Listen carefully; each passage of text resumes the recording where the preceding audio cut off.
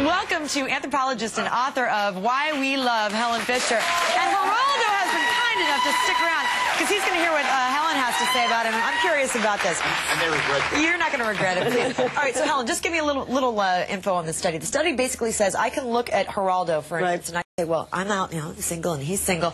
He's a, he's going to be a good boyfriend, or, or he's going to be just a you know guy guy around town. Right. Well, you can. like I mean, it's because of testosterone, and testosterone builds a strong jaw, larger nose, heavy Mm-hmm. brow ridges, um, uh, higher cheekbones. Okay, uh, well let's let's analyze forehead. Geraldo as you're saying this. Uh, let's start with the jaw. The jaw. What kind Well, of he definitely has a very male jaw. I mean, he's very high testosterone Very in the jaw. Absolutely. All right, Let's see the else? brow. Let's see the. It's softer there. I mean, it's a it's a softer over the eyes, uh, thank which is more. Uh, you, know, you know, you can be high testosterone and high estrogen too. Football players are so, um, and because you are a journalist, I mean, that's uh, a person who is very good with words, which is high estrogen, and He very doesn't good have beady skills. eyes. His eyes are not beady. So you're a good mix of um, of masculine features, and but I don't know if I were walking into a bar, would I think you were a player? Probably. Oh, really? so is, but doesn't it kind of I married my girlfriend. doesn't it always come down to though? It seems like it would always come down to well, the masculine. Da, da, da, that means that he's a hot guy, and the other, you know, the other side is he's not as attractive. Is that Well, um, he's very attractive. I mean, men with a softer face are very attractive for Matthew a long-term relationship. very attractive. And then, in fact, that's what they found in the study that women are much more attracted to the men with the softer face But you're not when saying- they want a long-term relationship. But softer doesn't mean less less good looking, does it? No, um, they did measure the. Women tend to think the very masculine face is better looking, and in fact, at, at the uh, very moment when they're ovulating, they will go for the most attractive face because Why? they want their better gene. A ver- very high testosterone. How can you tell when the woman's ovulating? That's a whole you other just segment, need. Earl. Can you, Nobody is it can like tell. an antenna? You go, "Mm, ding, ding, You know what's so interesting about that is that you don't walk into a bar empty-handed. You've got all kinds of brain mechanisms that pick up on whether a woman is ovulating, on whether a woman is. Yeah.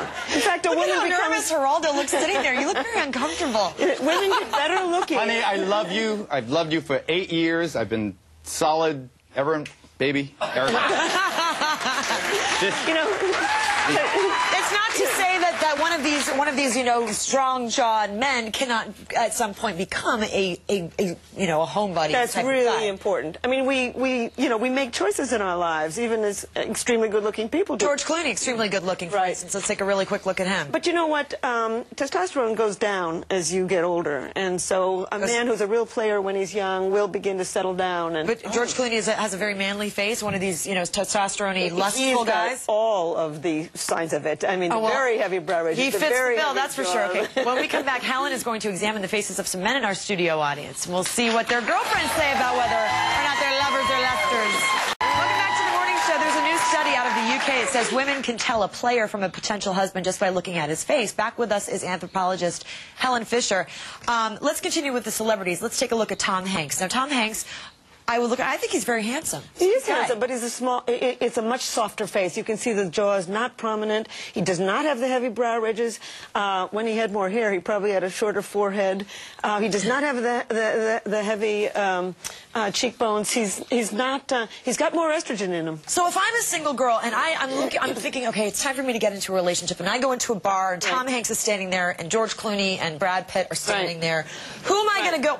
Well, I know who I'd go for, but, but You'd be in trouble. I, but I want a relationship. So I'm, there's a guy, you know, there are guys that all the women are staring at, and then there's another guy that maybe not all the women are staring Right. at. Which which guy am I going to go for? Well, if you really want a long-term relationship, you're going to look at that extremely handsome man. You're going to say, "I don't think so. I'm going to spend my entire life doing what they call mate guarding." Yeah. Because there's going to be people who are poaching. Oh, yeah, You got to sister. spend all your I know time that protecting feeling. them. Yeah. So do I. Yeah. All right. You Well, there, what about so if you're somebody who's just gotten out of a relationship and all you Right. have to do is party, you know, meet guys. Yeah, But You're going to go you're- for the hot guy because you don't feel like he's Absolutely. serious. And um, for example, let's say you're on a two-week vacation in France or something, and you're going to go for the most handsome man on the beach, and he will have the most testosterone, and he will be the sexiest. But again, that doesn't mean that they won't settle down. and doesn't that's mean that every really hot guy- important for you to say, Juliet. Really, because the thing is, we we make choices in our life, and particularly as men get older.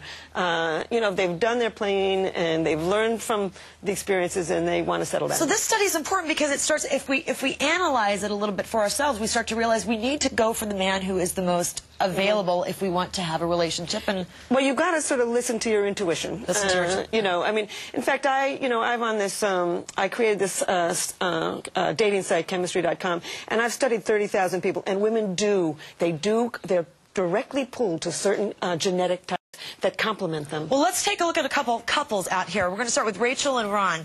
Rachel and Ron, how, how long have you guys been together? Two months. Two months. So it's a fairly new relationship. Now, Rachel, looking at Ron, what kind of uh, what kind of guy is Ron going to be? Do you think, Helen? Oh, he's going to be a sweetheart. You know, he's got that uh, uh, more of a round face, um, not heavy brow ridges, uh, um, a softer jaw. Uh, he's probably very verbal. He's probably uh, very compassionate. He probably has very good people skills. Are you finding And out he's probably uh, he's probably he, that's a good bet. Okay, let's take a look at Rachel. Uh, excuse me, Heather and Eric.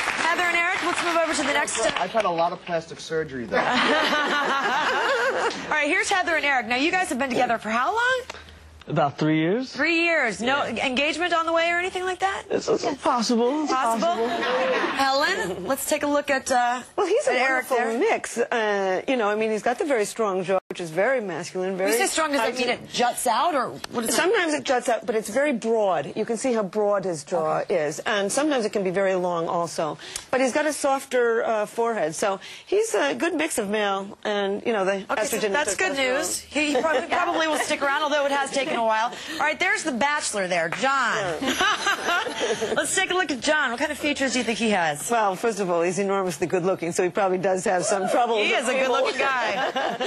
Now, if I went in, if I went into a bar, I would think John. Yeah, this this guy would have all the. He's tall. All the girls would be falling all. That's over him. high testosterone also. Tall. And he's got the uh, jaw of the testosterone. But you know what? He's not the George Clooney type of high testosterone. There's a softness to his face that uh, John- he, he could be he could be a good bet too. Are you a player, John?